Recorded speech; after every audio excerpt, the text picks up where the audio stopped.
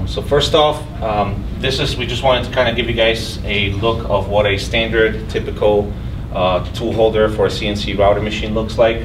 Uh, this is a general purpose tool holder. Uh, the TIR over here, that stands for total indicated runout. So the total indicated runout on these tool holders is typically about 3 tenths. So these are very accurate. This is why what you most commonly see in, uh, you know, on standard CNC routers. Um, this here, where it says HSK and BT, that's just the terminology for different models, different shapes. Uh, for example, the one here on the bottom, that's in the HSK style tool holder, or the one on top, uh, that's like your BT style or uh, ISO. It's very similar to an ISO style tool holder. Um, you don't have to worry so much about the different models because most of the time you know which one you need. So if your machine takes an HSK, you know that's the tool holder you need. Um, the only thing you want to kind of keep in mind when you're looking at tool holders is there's two different types. There's an uh, what's known as an A type or an F type. Um, and it, it, has to do with the balance specification of the router. So because these are for CNC router machines, which typically spin at higher RPM, you know, 18, 20, 22,000 or so, they have to be specifically balanced to that uh, at that RPM. So anything for a CNC router will be um, will have an F letter or it's uh, F type. Um, and anything for milling machines, so machines that spin at much lower RPM, maybe 8, you know, 6, 8, 10,000 RPM max, um, that will have an A uh, behind the part number somewhere. So F is for CNC routers, where A would be for milling machines. And like, like I said, it just has to do with the balance specification and what RPM the uh, tool holder is being used at. Um, when it comes to collet maintenance, that's probably one thing that gets overlooked the most. Um, you know, we can't stress enough how important it is to maintain the collets, keep them clean. Um, every time you pretty much do a tool change, so if for some reason the tool is worn out, or if you had some issues with breakage or anything like that, every time you break down that tool holder and you take it out of the machine uh, and you're putting in a new tool, uh, that would be the good time to take a look at the collet itself, make sure it's not, uh, doesn't have any burrs, doesn't have any sharp edges, um, make sure it's not rusted or anything like that. Um, and so it's extremely important to try to keep the, uh, here's the collet itself, here's the nut. So basically you want to try to make sure all the areas of the collet are clean. Um, same thing when you break down that tool holder out of the machine itself, uh, you sometimes get a little resin buildup on the back of uh, the taper where it actually uh, slips into the spindle. Um, so you want to try to keep this area clean as well, um, as well as the face of the collet nut itself. Um, we do sell, um, in our accessories catalogs, we have uh, different size brushes to clean out the tool, um, to clean out the collets. Uh, they're just brass brushes, so they're not very abrasive. Uh, you can take a look at them. Um, so that would be used for cleaning um, collets, and then for cleaning the inside of the spindle. So when you break down that tool holder, you've got that kind of a shape in your spindle. You can use wipers. That's what these things are called. Um, to clean out the inside of the spindle itself. Uh, if you want guys take a look at these. Um, there's different, uh, we sell different also cleaning solutions uh, listed in the accessories catalog. Um, one is like a, like a cleaner and the, other, the other one is a rust inhibitor. So it just protects the collets from rusting, protects the tool holders from rusting. Um, but it's, like I said, extremely important to try to keep it as clean as possible. Um, that way you'll have a real nice long tool life. I have a question. Yes. Do you spray any material on this? You can, yeah. Those. Uh, so is it, would, you, would you spray the oil? It's uh, not the oil. It's the cleaner. The cleaner. The cleaner. Yeah. I mean, you can still spray. Well, you can still spray the oil on afterwards, but most people will just spray it onto a rag and then just uh, coat it because that way you almost would need to have two separate wipers. One where it's got the cleaner on it and one where it's got the oil. Okay. Um, and, and, then, and then that's then you clean your spindle all that way. Correct. Okay. Yep. So that normally would be used with the actual cleaner itself. So you spray the cleaner onto the wiper, and then you clean inside of that spindle. Um, and then most people will either just take a clean rag, uh, spray some of the uh, oil onto the rag and then just wipe, you know, just coat it lightly. Um, you could spray it onto this too, but then you would have to have two separate wipers. They supposed to have oil on? What's that? They supposed to have oil on? Well, it, it- it's not so much oil, it's just extremely lightly to coat it and prevent it from getting resin built up, getting rust or anything like that. Um, And then, so as far as the collets, like we talked about, um, here's that rust-free uh, remover. Here's the brushes.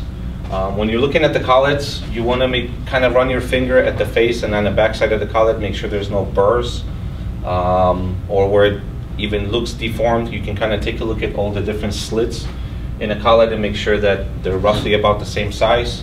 Um, you know, if you see a collet being deformed in any way where you can actually visibly see it, uh, then that collet should be replaced. Um, another good way would be to, you can always take a, the tool, um, the shank, shank side of the tool, and you can put it from the front and then back to make sure that it slides in easy. So if it goes in easy one way, but it doesn't want to go in the other way, then you know that collet is deformed. It should pretty much go in both ways the same. Um, when you insert a tool into the collet, um, the biggest or the, the key thing is to make sure that you don't go past the fluted uh, section of the tool. So um, here's an incorrect way, here's a correct way. So typically you'll see where um, people will leave about a, maybe about a sixteenth, maybe about an eighth of an inch um, above that flute washout area uh, or the flute fade out. Um, you want to just make sure that you're grabbing the tool on a cylindrical shank itself, not anywhere of the fluted area. And then, and so here is just an example of how you get um, collet distortion or um, how they get um, deformed in a way by not having either the tool enough into the collet. Um, sometimes you can have it too much into the collet. Um, it's at times difficult to fill up. We'd like to see the collet filled up as much as possible when you insert a tool, although that's not always possible because sometimes the shank length is always, you know, is only so long. So it, it only allows you to put it into the collet that much. Um, there is, um, I'm not sure if I have them here, but in our accessories catalog too, um, there's five different sizes, I believe, what we call life plugs. Life plug is uh, simply almost looks like a little piece of carbide or steel that's been uh, cut and it has a little uh, C-clip into it. And what you do, so if you run into this situation where you can only put uh, the tool so much and all that area is, uh, is empty, there is a collet life plug that goes on the back of the collet and it pretends as if the tool was inserted all the way in. Um, the only thing is, is they're not available in every size that's out there. So they come in your standard kind of a quarter inch, you know, three eighths, half inch, five eighths, three quarter inch uh, diameters. Um, so that's that. And then we'll kind of get into uh, um, all the different types of uh, tool holders. Uh, these are some of your common metalworking tool holders. So we mentioned router uh, tool holders, which typically is like your HSK or your BT or your ISO type. Here you finally see all the different pictures. The CAT, the ISO, and the BT, they're all very similar. I mean, they, they look uh, very close to each other with the exception of HSK. HSK is the only one that looks slightly different. Um, and then there's also a number always associated with that prefix. So you can have an ISO 30, an ISO 40 tool holder, and that just has to do with the overall size of the tool holder itself. Um, once again, I, like I said, you don't really have to pay so much attention to this because if you have a machine, it'll tell you what type you need, and you just need to stick to that type. Um, this is the only thing, like I said, I would remember we mentioned this before, where the A type is always for milling machines, um, which spin at much lower RPM, or the F type is for CNC routers that spin at high RPM and they have a special balance uh, specification. What is the actual difference between BT and ISO and the CAT? Like, I there is. I mean, it's uh, it, it has to do all with uh, the taper itself. So some have a slightly different degree. I mean, they're all slightly different, but the CAT, the ISO, and the BT are very similar visually. So sometimes if you just take a look at it, you won't really know which one is which. uh, until you actually look at the stamping that's on the tool holder because they, they look so, so much alike. Um, but there are differences in the length of it, um, like these diameters, the tapers, uh, they all have slightly different angles. Um, this guy is what you see a lot of in ISO. So like most CNC routers, uh, HSK, ISO, and sometimes BT. Um, I believe Gary in the back, everything that he has is ISO, like an ISO type. And you can see, you can ask Gary in the lab when you guys go in there um, to take one out and show it to you, and just, so you see what it looks like. Um, you know, but this is the one key thing to remember. A is for milling, F is for routing. Okay, and then so some of the different types, so we'll just kind of go into the different tool holders. So this is the most uh, general purpose in a way uh, when it comes to um, metal, metalworking, pretty much tool holders. Uh, not very accurate, I mean this is uh, just a general purpose tool holder. The total indicated run out on these is about 8 tenths. Uh, they do, uh, they are available in the four different models or tapers. Um, the reason why this one is not as accurate is because the way this, this one works is you insert a tool, and the tool normally has to have a flat ground, ground onto the shank portion, because there, there, then there is a set screw that comes in from the side, and you basically tighten it up to hold the tool in place. So because of that setup, because of how it's held, um, it is not the ideal setup in a way, but these are very inexpensive. Um, you know, it's a very low cost solution. Um, the one that you probably see the most, once again, this is that collet holder, which will consist of the tool holder itself.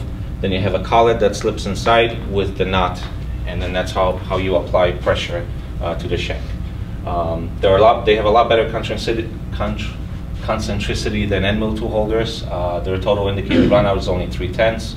It is available in the four different models or tapers again, and this is pretty much what you most commonly see in the field. Um, some of the other tool holders, now we're getting into more of a specialty. So there's what's known as a milling chuck, and then there's also going to be a hydraulic, and then there's going to be a shrink fit. So I'll go backwards. Uh, milling chuck, you know, it's it's a specific design pretty much for uh, for milling applications. Uh, so when you're working with metals, uh, maybe exotic metals, titanium, Inconel, stainless steel, things like this, um, they have a much tighter tolerance too. It's only two tenths. Um, and it is available in the four different models. Once again, it's a little bit lower cost than hydraulic chuck, which is the next one. Uh, so once again, these are all more specialty uh, for, for milling applications. Uh, this is a hydraulic chuck. This is a very, very expensive uh, tool holder. It's extremely uh, accurate. It's only one-tenth run out. Um, what's also unique about this is that you have an axial adjustment. So Inside that tool holder, that this area right here can move up and down depending how much the tool needs to be inserted. Very expensive. Um, you probably won't see this as much unless it's some high-end shop that's doing maybe um, you know, aerospace parts, something like that, where they have very, very tight uh, tolerances. And then lastly is a shrink fit tool holder. Um, we do have a setup uh, in our lab that Gary can show you. Um, probably the most expensive setup. What this is, is you have a, uh, so it's extremely, extremely accurate, also it's only one tenth. Um, what this is, is it consists of two things. So you'll have your tool holder itself, which does not have any nuts, any collets or anything like that. And then you have a machine. What this does is you put the tool holder in the machine, the machine heats it up to a certain degree, which then make, makes the metals expand slightly.